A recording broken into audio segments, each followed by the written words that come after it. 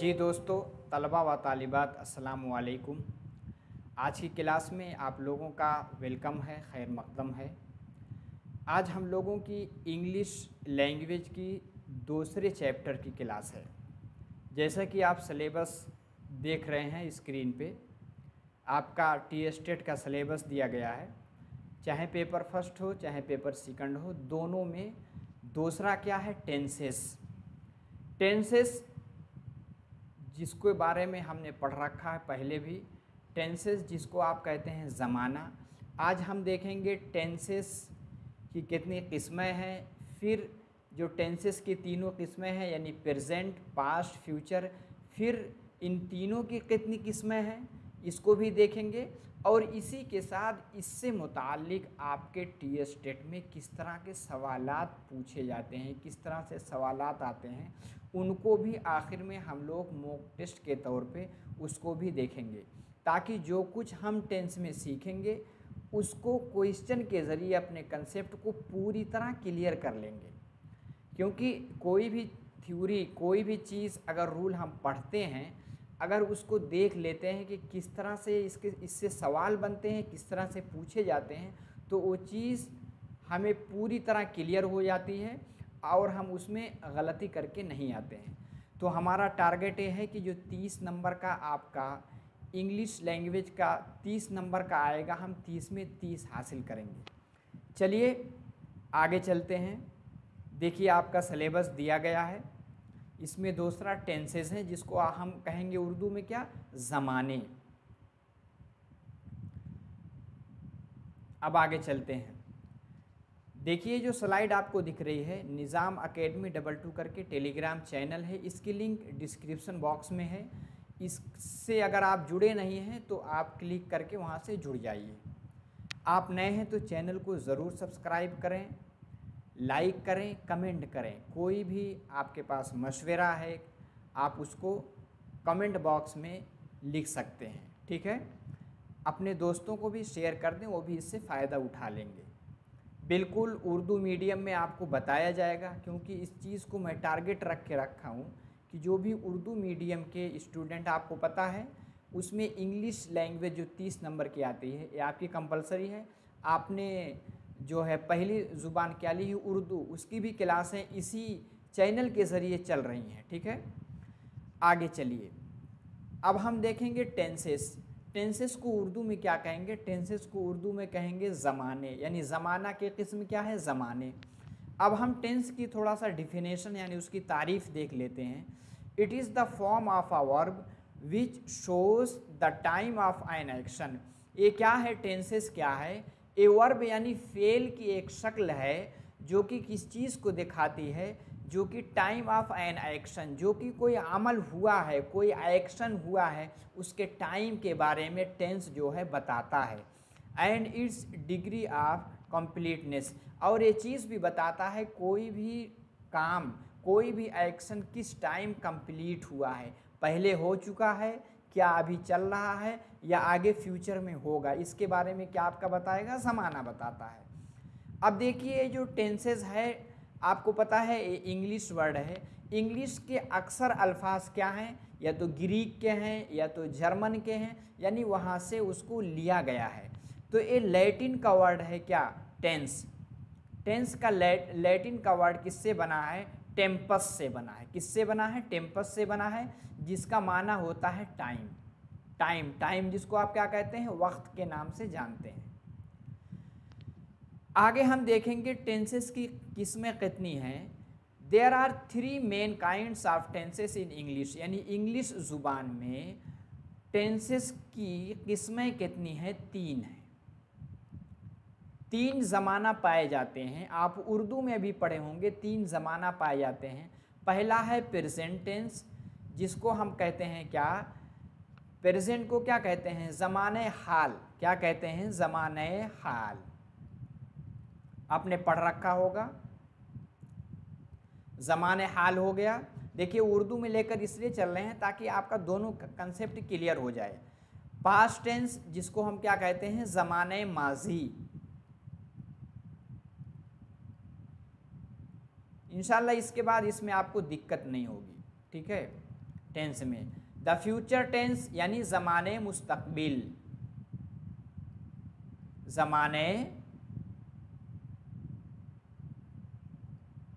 मुस्तकबिल। देखिए, उसको मैं अभी चाहूँ तो हिंदी में भी बता सकता हूँ, लेकिन हिंदी में बताने का कोई वो नहीं है।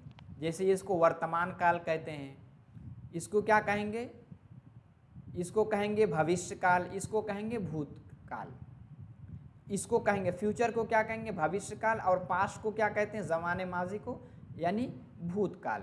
लेकिन उस, उसमें हमें नहीं पढ़ेंगे। मैं उर्दू मीडियम के स्टूडेंट को टारगेट करके पढ़ा रहा हूँ, इसलिए आपको उर्दू में भी बताता चल रहा हूँ, ठीक है? अगर कोई हिंदी का है तो बताइएगा तो मैं हिंदी में भी उस टर्म को बता दूँगा। चलिए आगे चलिए। पहला है सिंपल। आपको पता है four form of tenses. Tense पहले तीन किस्में हुई? यानी प्रेजेंट, पास्ट और फ्यूचर। फिर हर एक की चार चार किस्में, चार चार फॉर्म यानी चार चार शक्लें निकलती हैं। पहला क्या है? सिंपल सिंपल को हम क्या जानेंगे? जैसे हम कहते हैं, मुतलक। उर्दू में क्या पढ़ते होंगे? मुतलक।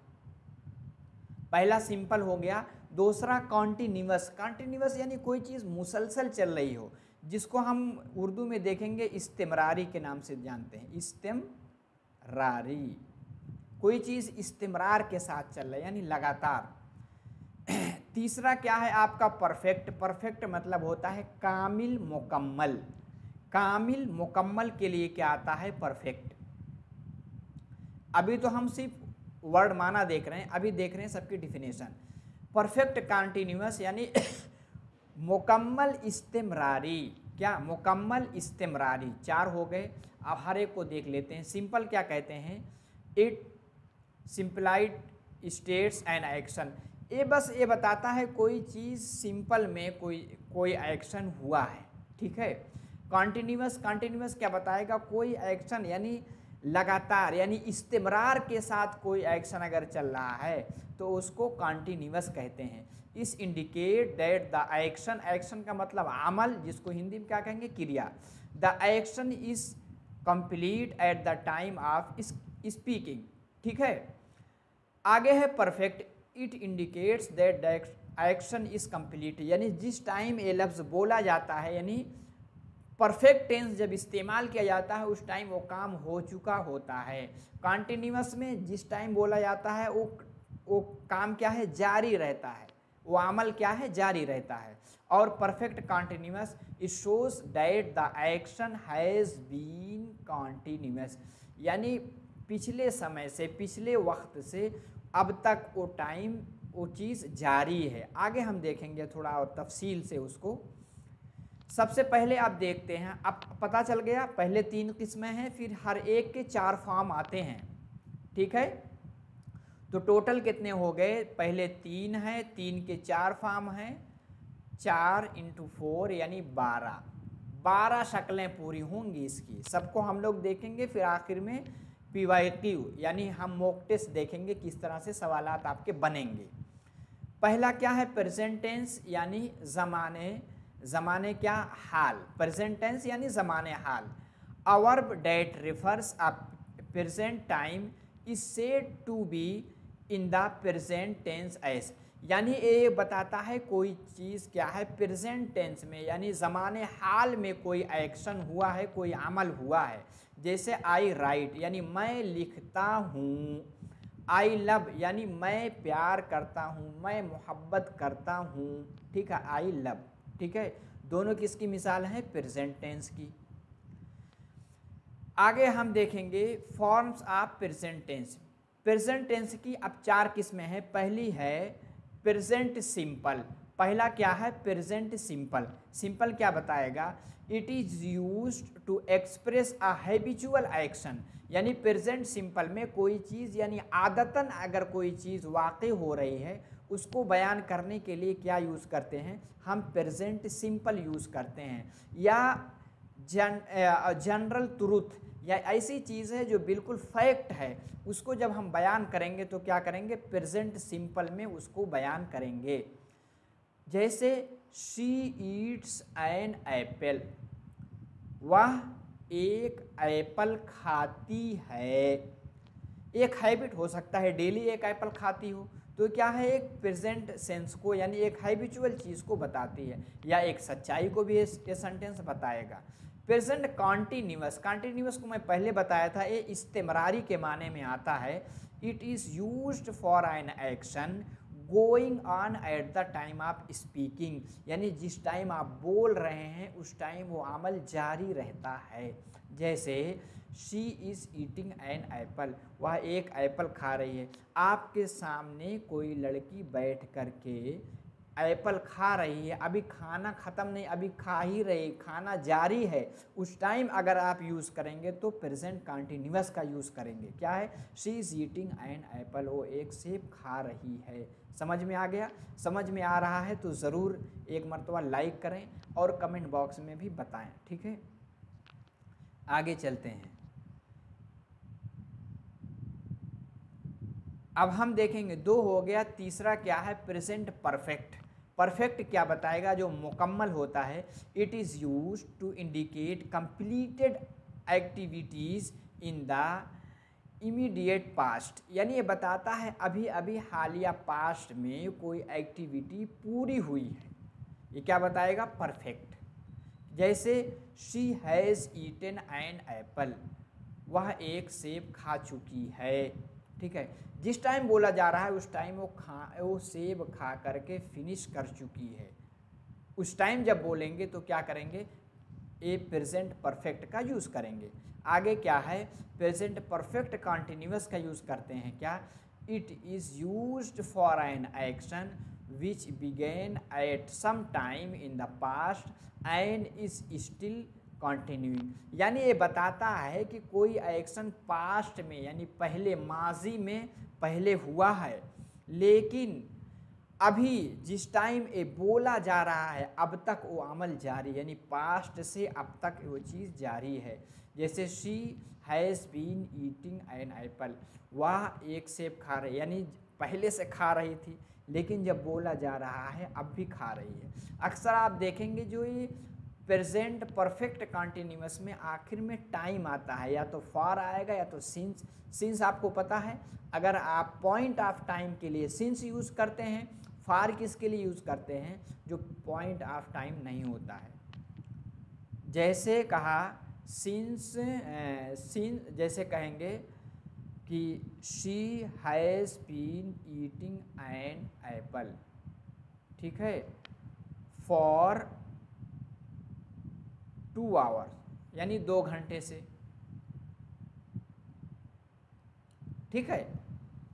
तो इसमें अक्सर सिंस या फॉर का यूज़ किया जाता है। इस चीज़ को आप जहन में रखिएगा। अब हम प्रेजेंट टेंस यानी ज़माने हाल पूरा हो गया। दूसरा क्या है? दूसरा आपका ज़माने माजी है। अब ज़माने माजी की भी चारों किस्में हैं। कैसे? The past tense a verb that refers to past time is use to be in a past tense जैसे आई रोट मैं लिखा। जिस टाइम बोला गया, उस टाइम लिख चुका है। आई लव्ड मैंने प्यार किया। आगे देखिए forms of past tense past tense की शक्लें देखते हैं। पहला क्या है? पास्ट सिंपल इसमें भी वही सिंपल आएगा कॉन्टीन्यूस आएगा परफेक्ट आएगा और परफेक्ट कॉन्टीन्यूस आएगा। Past simple it is use to indicate an action completed in the past यानी सी एट एन एप्पल उसने एक सेब खाया। जिस टाइम बोला गया, वो खा के फिनिश कर चुकी है। पास्ट कंटिन्यूस क्या है? It is use to denote an action going on at some times in the past यानी जब बोला गया, यानी पास्ट में कुछ टाइम तक वो अमल अगर जारी रहेगा तो पास्ट कंटिन्यूस का यूज़ करते हैं। जैसे she was eating an apple वह एक सेब खा रही थी। ठीक है? यानी पास्ट में कोई चीज़ कंटिन्यूस यानी बहुत देर तक वो अमल कर रही थी। आगे हम देखेंगे पास्ट परफेक्ट का यूज़ करते हैं। It describes an action completed before a certain moment in the past ये बताता है कि अभी पास्ट में, हालिया में कोई अमल मुकम्मल हो चुका है। जैसे she had eaten an apple वह एक सेब खा चुकी थी। ठीक है? अक्सर इसमें क्या होता है?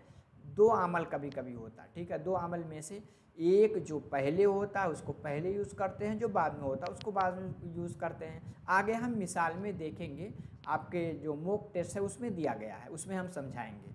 Past perfect continuous it is use for an action that began before a certain point in the past and continued up to that time यानी पास्ट में शुरू हुआ है, लेकिन जब जिस टाइम बोला जा रहा है, अब तक वो कंटिन्यूस चलता रहा वो अमल, उसके लिए पास्ट परफेक्ट कंटिन्यूस का यूज़ करते हैं। जैसे she had been eating an apple वह एक सेब खा रही थी। ठीक है? अब कर सकते हैं। She had been eating an apple for two hour दो घंटे से खा रही थी, ठीक है? या सिंस स्टरडे यानी कल से खा रही थी, ठीक है?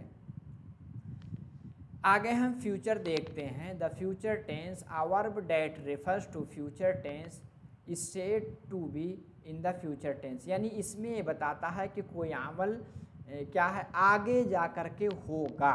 अभी हुआ नहीं, लेकिन आगे होगा। और इसके भी चार शक्लें होती हैं। पहला, future simple. It indicates this action which will happen in the future जो कि फ्यूचर में वाक़ होगा। जैसे she will eat an apple वो एक सेब खाएगी, आगे खाएगी, ठीक है? आगे है फ्यूचर कॉन्टिन्यूस क्या है? It denotes an action as going on at some point in the future ये बताता है कि कोई चीज़ जो है फ्यूचर में लगातार जारी रहेगा। जैसे she will be eating an apple वह एक सेब खाती रहेगी, ठीक है? आगे है फ्यूचर परफेक्ट क्या है? It is use to indicate an action that will be completed by a certain future time देखिए, उसमें क्या था? विल का यूज़ था। और इसमें क्या है कॉन्टिन्यूस में विल के साथ भी वर्ब की थर्ड फॉर्म आती है, ठीक है? और फ्यूचर परफेक्ट क्या है? It is use to indicate an action that will be completed by a certain future time जैसे she will have been eaten an apple वह एक सेब खा रही होगी। आगे टाइम दिया रहता है अक्सर, ठीक है? अब देखिए, आगे क्या है? फ्यूचर परफेक्ट वाला क्या है?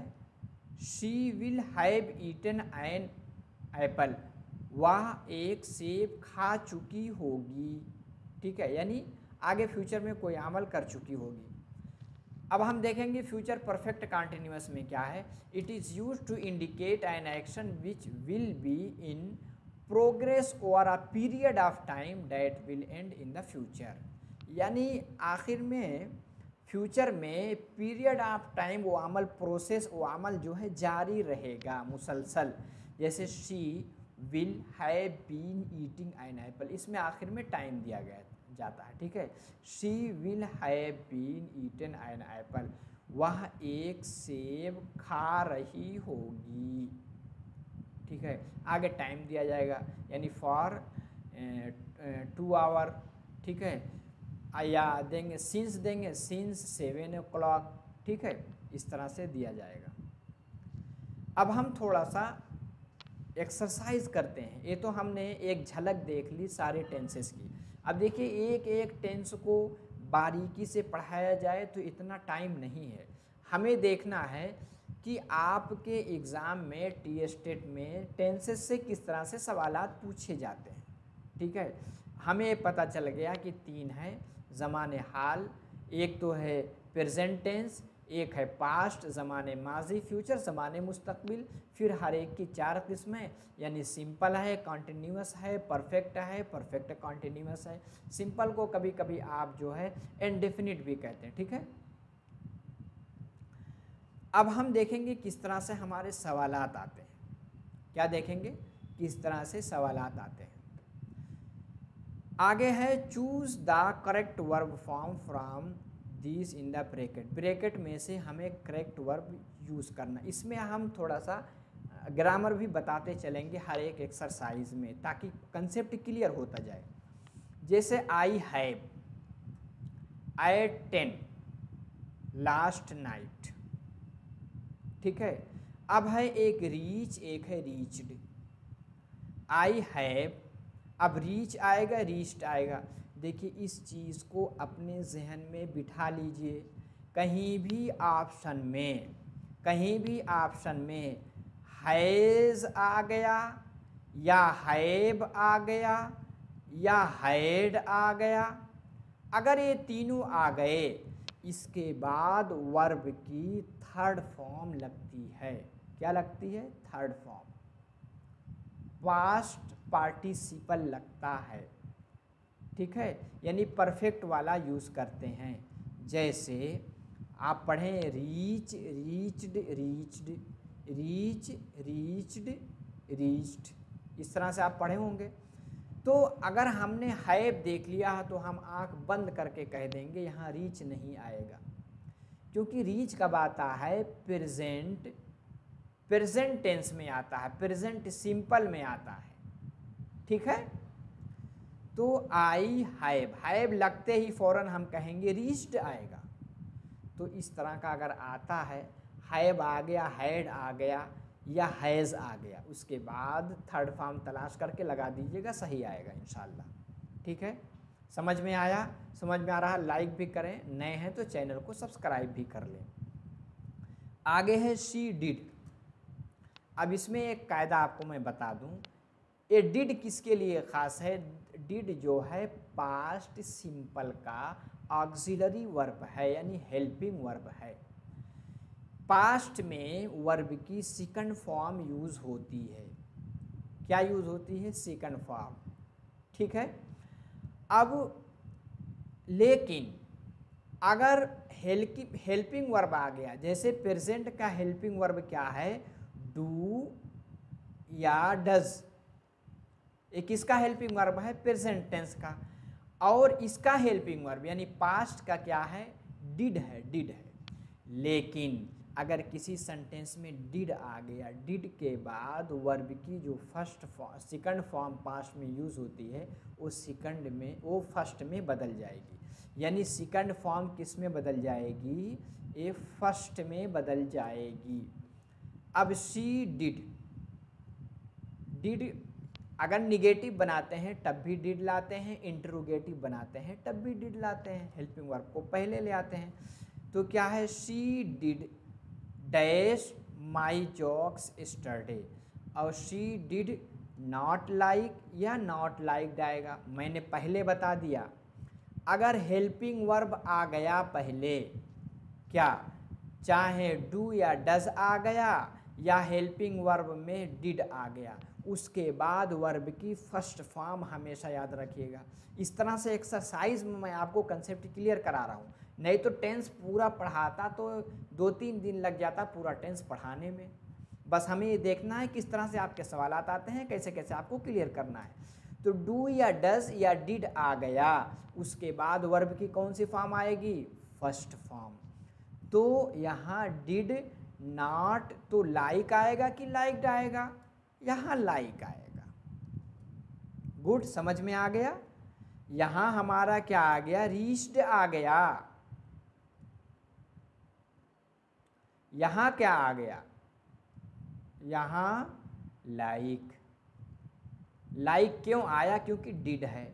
जहाँ भी डिड आ गया, जहाँ भी डू या डज आ गया वर्ब की फ़र्स्ट फॉर्म को तलाश करके ठोक देंगे, सही जाएगा।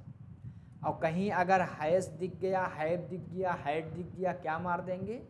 वर्ब की थर्ड फॉर्म लगा देंगे। ठीक है? समझ में आया? समझ में आया तो एक मरतबा कमेंट बॉक्स में बताएँ कि तरीका पढ़ाने का समझ में आ रहा। क्योंकि अगर कोई चीज़ हम इम्प्लीमेंट करके नहीं देखेंगे, यानी नाफिस करके नहीं सेंटेंस में नहीं देखेंगे तो कायदा बताने से कोई फ़ायदा होता नहीं है। ग्रामर सिखाने का तरीक़ा ही यही है कि आप कॉन्टेक्स्ट में सिखाएँ, यानी इंडक्टिव मेथड का इस्तेमाल करें। आगे तीसरी मिसाल देखें। The runner dash before reaching the winning point. यानी रनर विनिंग पॉइंट या जो उसका डेस्टिनेशन दिया गया है, वहाँ तक पहुँचने से पहले रनर क्या? फॉल गिर फॉल क्या है? गिरता है फॉल्स गिरता है। देखिए, एक जगह फॉल के साथ एस है, एक जगह फॉल के साथ क्या है? एस नहीं है। अब इस मिसाल के ज़रिए मैं आपको एक कायदा बताऊँगा, उसको जहन में रख लीजिएगा। एक ये कौन सा टेंस है? ये आपका प्रेजेंट इंडिफिनिट यानी प्रेजेंट सिंपल टेंस है। प्रेजेंट सिंपल टेंस का एक कायदा है कि अगर सब्जेक्ट क्या होगा? सिंगुलर होगा। क्या होगा? सिंगुलर यानी एक वाहिद होगा। या ही आ जाए। ही ही क्या है? मुजक्कर के लिए सिंगुलर के लिए, या शी आ जाए। या इट आ जाए, या किसी का नेम आ जाए, ये तीनों क्या हैं? तीनों सिंगुलर हैं। इसके बाद वर्ब की फ़र्स्ट फॉर्म के आखिर में कहीं एस लगा होगा, कहीं ई एस लगा होगा। इसको याद रखिए, जहन में रख लीजिए। कहीं एस लगा होगा, कहीं ई एस लगा होगा।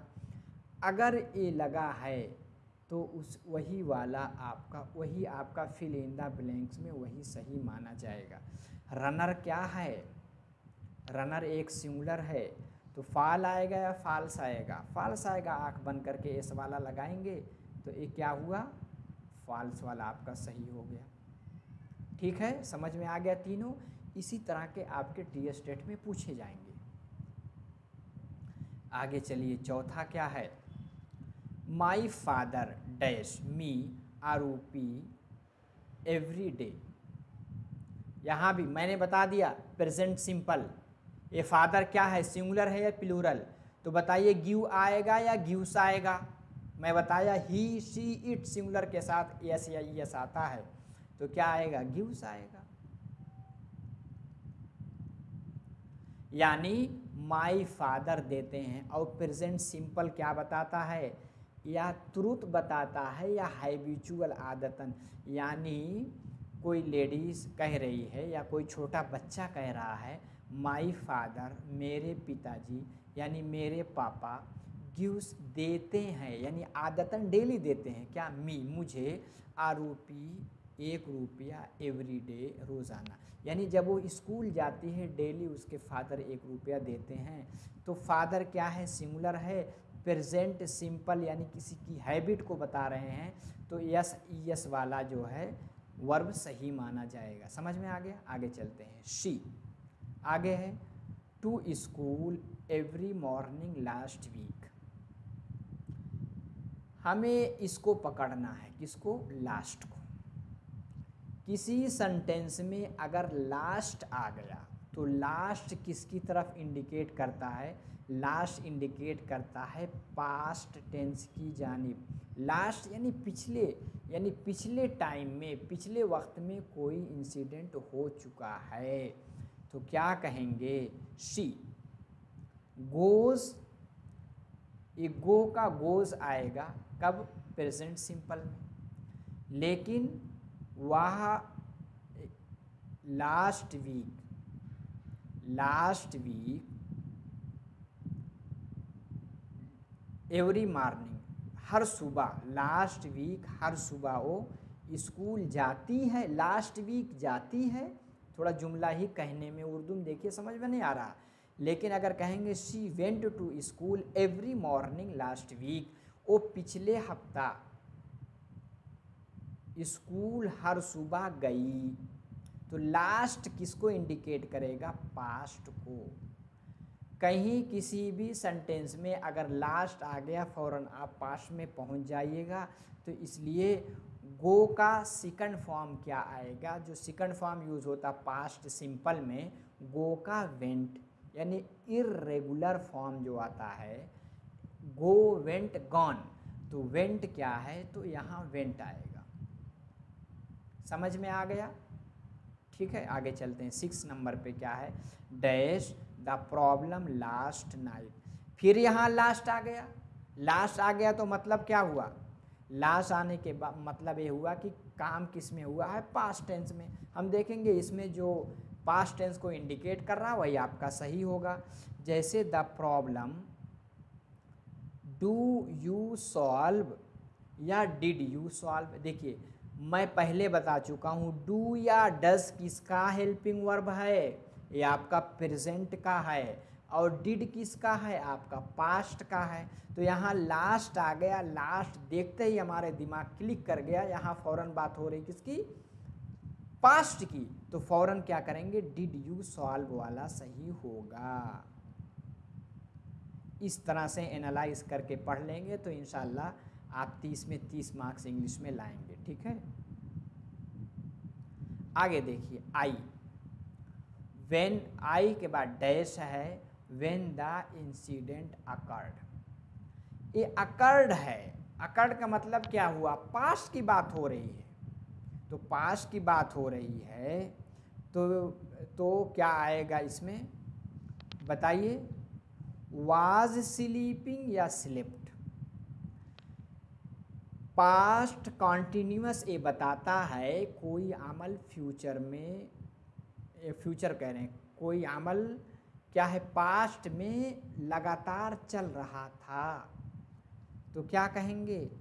वेन द इंसिडेंट अकर्ड यानी जब हादसा हुआ, जब हादसा वाक़ हुआ, तब क्या है? आई स्लिप्ट मैं सोया।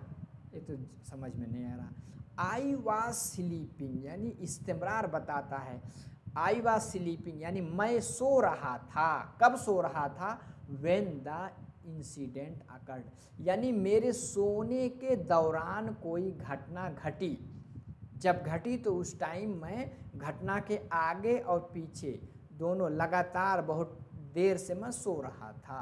तो इस तरह के जुमला आएँगे तो अकड़ के बाद पता चल गया क्या आएगा। पहले हम पास्ट कंटिन्यूस यूज़ करेंगे, यानी आई वाज स्लीपिंग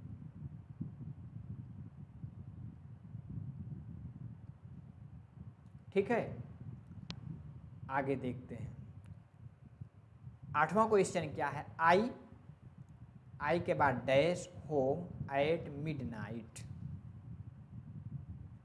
बताइए। आई के बाद रीच्ड आएगा या वाज रीचिंग आएगा। यानी वाज रीचिंग का मतलब हुआ कि मैं आधी रात को घर पहुँच रहा था या पहुँच रही थी, समझ में नहीं आ रहा। है I reached home at midnight मैं आधी रात को घर पहुँचा या घर पहुँची। जिस टाइम बोल रहा, मान लो आधी रात को कोई पहुँचा, फिर दूसरे दिन, जो है अपने साथी से बोल रहा तो क्या बोलेगा? I was reaching home at midnight और ये वाज क्या है? कोई कॉन्टिन्यूस के बारे में बताता है? यानी आई एन जी फॉर्म तो यहाँ परफेक्ट होगा रीच्ड वेन यानी I reached home at midnight मैं घर पहुँचा कब? आधी रात को। ये कब बोल रहा है? दूसरे दिन। और पास्ट सिंपल जब बोला जाता है, बोलते टाइम वो काम, वो अमल पूरा हो जाता है। समझ में आ गया? आगे है यू उसके बाद dash a lot by this time next year a lot यानी बहुत सारा बाय दिस टाइम यानी इस वक्त तक नेक्स्ट ईयर यानी अगली साल। नेक्स्ट अब देखिए, मैं बोल दिया पहले से। अगर कहीं लास्ट आ गया, क्या आ गया? लास्ट हम कहाँ जाएँगे? पास्ट की तरफ़, फट से। अगर कहीं नेक्स्ट आ गया, अगर कहीं नेक्स्ट आ गया, यानी अगला, मुस्तकबिल की बात हो गई तो फ़ौरन कहाँ भाग के जाएँगे हम? फ्यूचर टेंस में। तो इन दोनों में एक चार्ज है विल हैव एक है चेंज एक विल हैव चेंज्ड बताइए कौन सही होगा? विल वाला। You will have change a lot by this time next year यानी कोई बता रहा है, कोई पेशिन गोई आपसे कर रहा है कि अगली साल, इस टाइम तक यू हैव चेंज अलाट तुम बहुत ज़्यादा बदल जाओगे। समझ में आ गया? कहीं भी नेक्स्ट आ गया तो हम फ्यूचर को तलाश करेंगे विल या शैल को। ठीक है?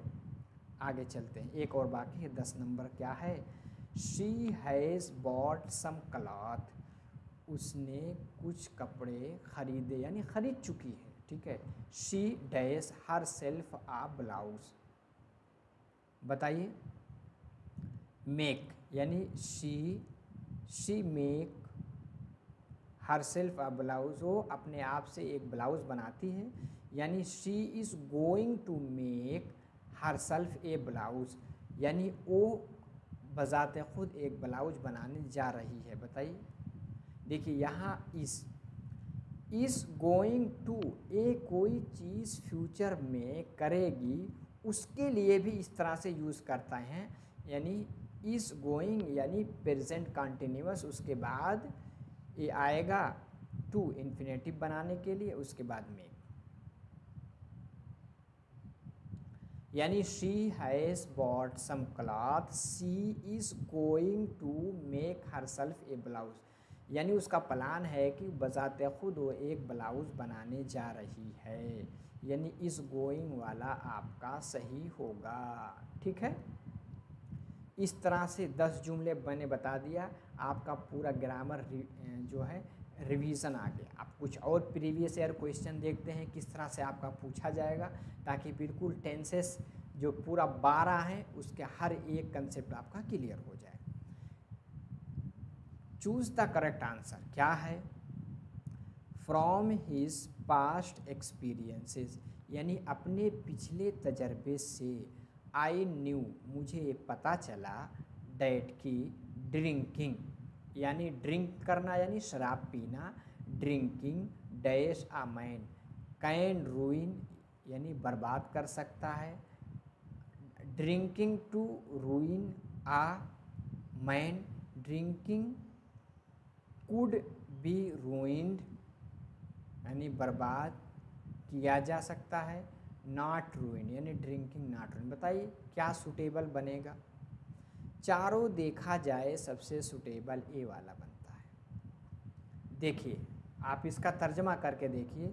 फ्रॉम हिज पास्ट एक्सपीरियंस अपने पिछले तजर्बे से आई न्यू मुझे ये चीज़ पता चली, डेड ड्रिंकिंग की शराब पीना।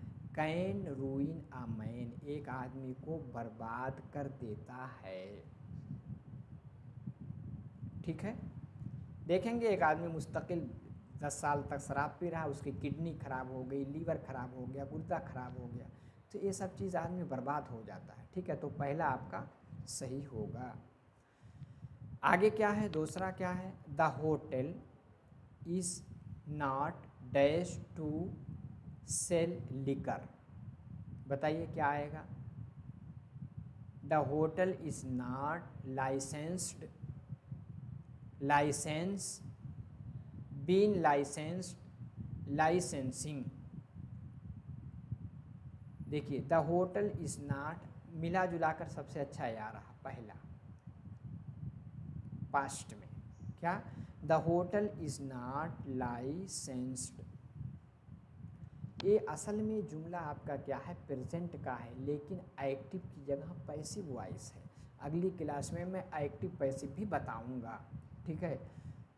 तो the hotel is not licensed to sell liquor यानी इस होटल को शराब बेचने बेचने के लिए लाइसेंस नहीं दिए गए। आप देखेंगे यहाँ हैदराबाद में और सिकंदराबाद में देखेंगे, अक्सर जगह देखेंगे। यहाँ लोग ख़ास तौर पे जो नॉन मुस्लिम हैं, ये लोग शराब ज़्यादा पीते हैं। कोई फ़ंक्शन हुआ, कहीं कुछ जाना हुआ, इसलिए आपको शराब की दुकानों पे यहाँ भीड़ बहुत नज़र आएगी। चाहे आप सिकंदराबाद देख लीजिए, हैदराबाद देख लीजिए और कहीं भी देख लीजिए, ज़्यादा यहाँ। तो इसीलिए उससे रिलेटेड जो है, यहाँ सवाल भी पूछे जाते हैं, ठीक है? दिस होटल इज़ नॉट ठीक है लाइसेंस टू सेल लिकर समझ में आया? चलिए आगे चलते हैं। तीसरा क्या है? The party dash four men and two women the party बताइए कंसिस्ट ऑफ़ या कंसिस्ट ऑफ़ ये कंपोजेस ऑफ़ आएगा, या कंसिस्ट ऑफ़ आएगा, या इज़ कंपोजिंग आएगा, या कंपोज्ड ऑफ़ आएगा। देखिए, सब देखा जाए तो यहाँ बी वाला सही होगा। द पार्टी कंसिस्ट ऑफ़ यानी पार्टी में कंसिस्ट ऑफ़ यानी कितने लोगों को पार्टी शामिल करती है? फोर मेन चार आदमी एंड टू वीमेन दो औरतें। यानी चार मर्द और और दो औरतें, यानी छः लोग पार्टी में कंसिस्ट ऑफ़ कंसिस्ट ऑफ़ ठीक है? यानी प्रेजेंट सिंपल यूज़ होगा। आगे चलते हैं। आगे है she ought not to have dash him but she did ought to यानी नहीं करना चाहिए था। She ought not to have क्या आएगा? बताइए। She had not to have told आएगा। हम, मैंने एक चीज़ पहले बताई, कहीं भी अगर हैव आ गया तो उठा करके वर्ब की थर्ड फॉर्म मार देंगे। टेल जो है थर्ड फॉर्म नहीं है। टू बी टेलिंग ये भी नहीं है। टू बी टोल्ड है। टोल्ड है। आपका डी वाला सही हो गया। यानी she ought not to have told him, but she did. यानी उसे नहीं बताना चाहिए था, बट लेकिन उसने बता दिया। ये कहना चाह रहे हैं, ठीक है? तो हैव है तो टोल्ड आएगा देखिए, इसको खुद आप हल कीजिए। या हल करके खुद ही आप कमेंट बॉक्स में बताइए कि पाँचवे का कौन सा सही होगा। इस तरह से अगर आप एक्टिविटी करेंगे तो लर्निंग बाय डूइंग, आपके सेंस ज़्यादा यूज़ करेंगे, आप खुद सीखेंगे। मैं बताऊँगा, तब तक आप सुनते रहेंगे तो ये चीज़ ज़्यादा इफ़ेक्टिव नहीं, क्योंकि जो पढ़ने वाला उसको एक्टिव होना चाहिए। आपको पता है? लर्निंग बाय डूइंग अगर होती है, वो चीज़ ज़्यादा देर तक बाकी रहती है। आगे हम देखते हैं, पाँचवा क्या है? वेन आगे क्या है? ही फिर dash a novel, a dog barked. बताइए, क्या आएगा? When he read has read is reading was reading देखिए हम देखेंगे तो सबसे अच्छा वाज रीडिंग आएगा। क्यों आएगा देखिए? When he was reading a novel जब वो नावल पढ़ रहा था तो पढ़ने का अमल कंटिन्यूस पास्ट में जारी था। अ डॉग बार्क उसी पास्ट में पढ़ने के दौरान एक कुत्ता भोंका। कुत्ता भोंका जब वो पढ़ रहा था, ठीक है? तो क्या आएगा? आपका डी वाला सही होगा। आगे देखेंगे, आगे है आफ्टर ही उसके बाद dash they discuss the problem. क्या है? आफ्टर शी यानी लीव्स, और had left was leaving had left क्या आएगा? हैज़ एक है, एक हैड है। देखिए, आफ्टर ही, उसके बाद डैश है। तो यहाँ आप देखेंगे सबसे अच्छा क्या है आपका हैड लेफ़्ट क्यों? देखिए ऑप्शंस देखिए। आफ्टर ही हैड लेफ़्ट उसके छोड़ने के बाद दे डिस्कस द प्रॉब्लम वो उन्होंने प्रॉब्लम को डिस्कस किया। दो अमल हुए हैं। उसको मीटिंग छोड़ना पहले हो गया वो मीटिंग से उठ के भाग गया, छोड़ दिया। जब उसके जाने के बाद उन लोगों ने मिल कर के समस्या जो उनका मसला है, जो उनकी परेशानी है, उसके बारे में डिस्कस किया। After he after he had left they discuss the problem समझ में आ गया? ठीक है, आगे चलते हैं। आगे है यूजुअली ही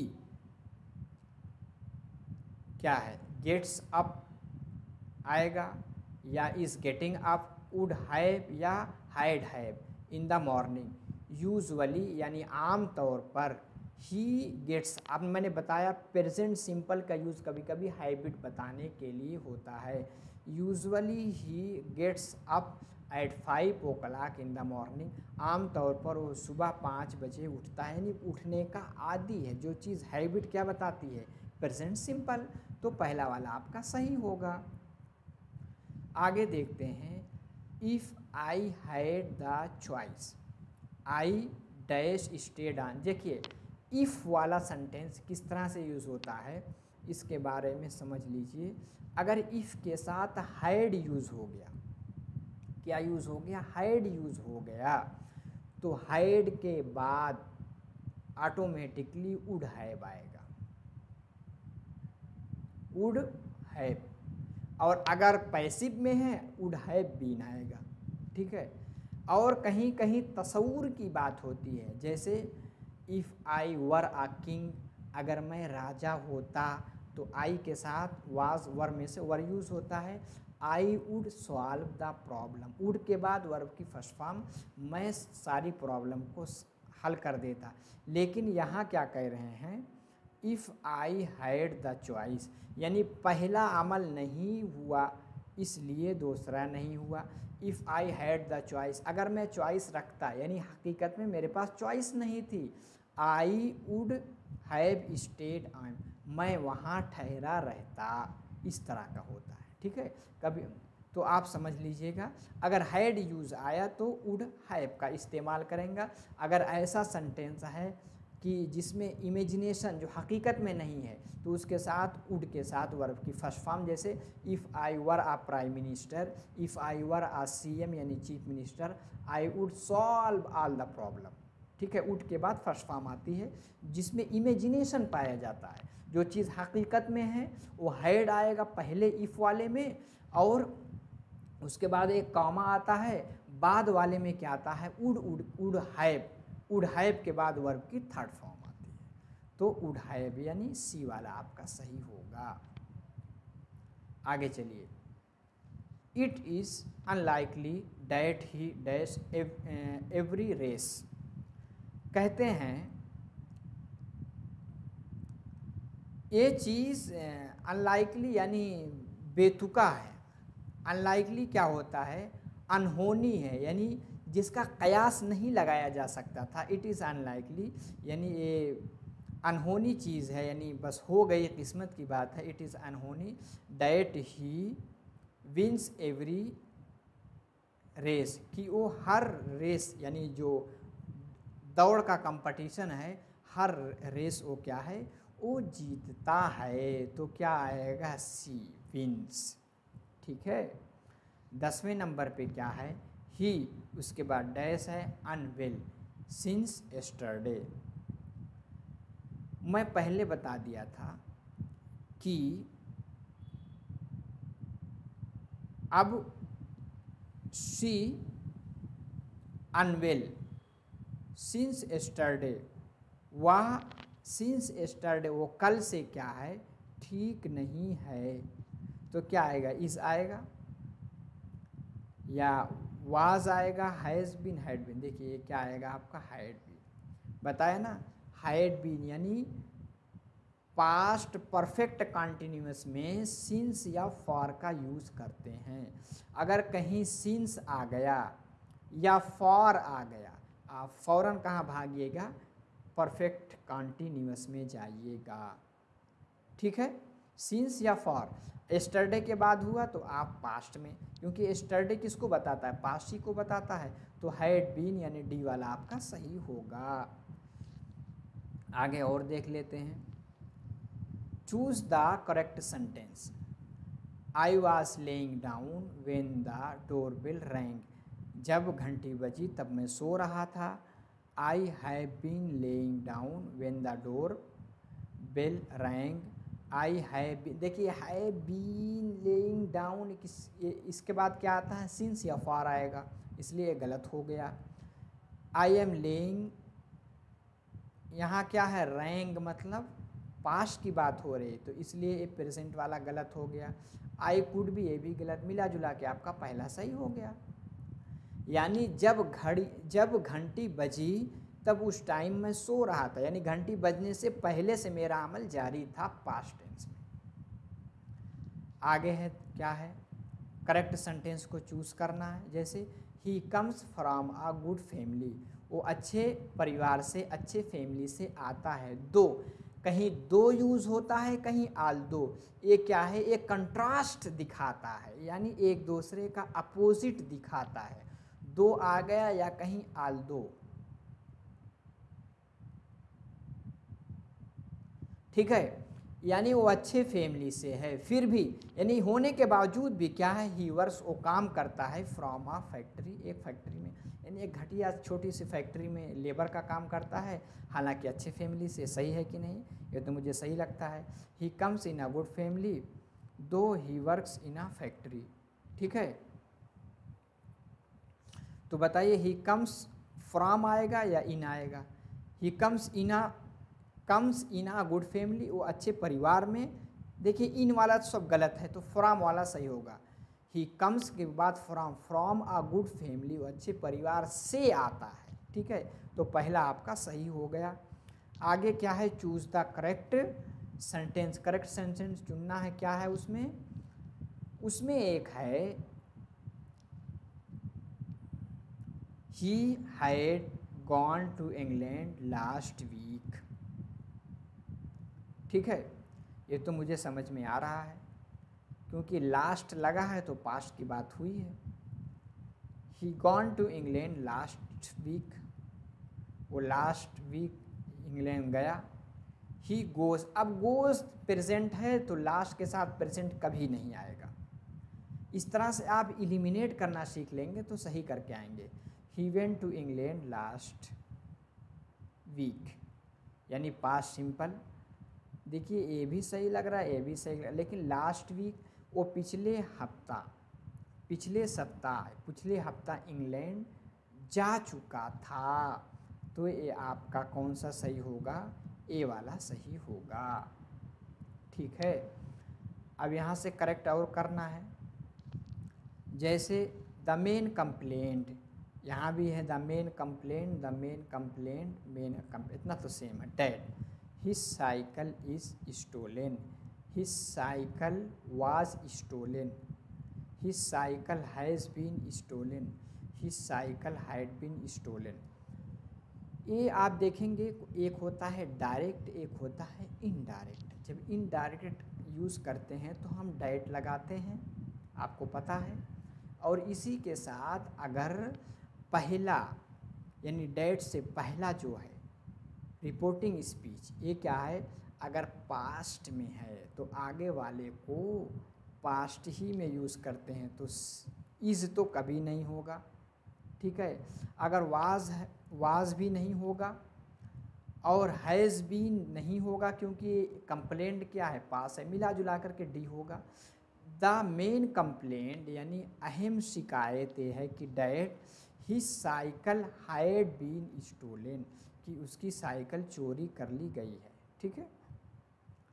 बेन यह है कि उसकी साइकिल चोरी कर ली गई थी। हैड बीन वाला सही होगा, क्योंकि इनडायरेक्ट स्पीच है। आखिरी देखें, देखते हैं, उस तरह से हमने पंद्रह देखा, इस तरह से हमने क्या देखा? वो वाला दस था, खाली जगह भरने वाला और पंद्रह वाला है। मिला जुला करके इतना कर लेते हैं तो इसमें से इसी में से आपका आएगा। क्योंकि यही सेम नहीं आ सकता, लेकिन पैटर्न यही रहेगा। पिक द करेक्ट एक्सप्रेशन बताइए, कौन सा सही होगा? कैन बी एबल टू ये क्या है? Did rather go made it come would rather go ये क्या है? Can be able to. ठीक है? वो मिसाल सेट करने में इससे पहले जो सेंटेंस था, वो छूट गया था। तो ठीक है तो कैन बी एबल टू इस तरह से आएगा। तो उम्मीद है कि इस तरह से आज हमने टेंस को पढ़ा किसके ज़रिए? टेंस को मोक टेस्ट के साथ। जितना कंसेप्ट उसका, सारे टेंसेस का क्लियर हो गया। अगर क्लियर हो गया तो एक बार कमेंट बॉक्स में बताएँ कि तरीका अच्छा लगा, समझ में आया और लाइक करके जाएँ, ठीक है? नए हैं तो चैनल को सब्सक्राइब ज़रूर कर लें और इसी के साथ Nizam academy double two Telegram channel से भी जुड़ जाएँ। तो बस मेरी दुआएँ हैं कि आप टी स्टेट आपका क्लियर हो जाए। अगली क्लास में फिर मुलाकात होगी। अलैक्म।